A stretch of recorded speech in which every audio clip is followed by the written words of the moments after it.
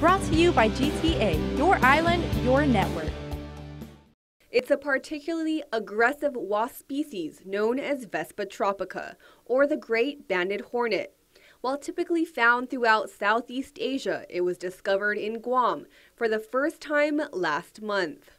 Since then, University of Guam entomologist Dr. Ross Miller says there have been roughly 12 confirmed sightings of the wasp in areas ranging from Cross Island Road all the way up to Dededo.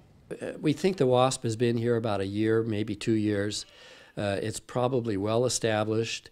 Uh, we don't think it's going to be that it will be eradicated. You know, once something is established on Guam, there's so many places that could uh, nest that it, it's almost impossible to find it. That means the wasp is likely here in Guam to stay, and Miller expects its population to increase significantly over the next year. They will probably feed on honeybees and some of the, the wasps uh, that are already here.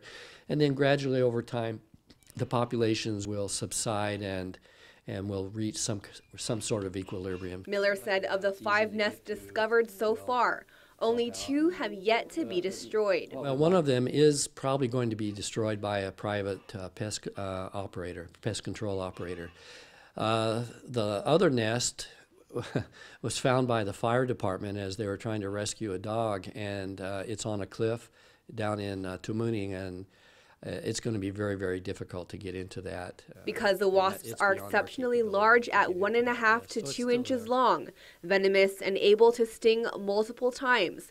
They are considered a health hazard to Guam's vulnerable populations. These include children, the elderly, and those with allergies to bees and wasps. He said if residents who are allergic are stung, they could go into anaphylactic shock and suffocate in as little as 30 minutes.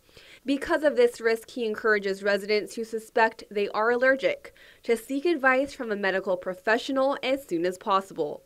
Reporting for Guam's News Network, I'm Isa Baza. Brought to you by GTA, your island, your network.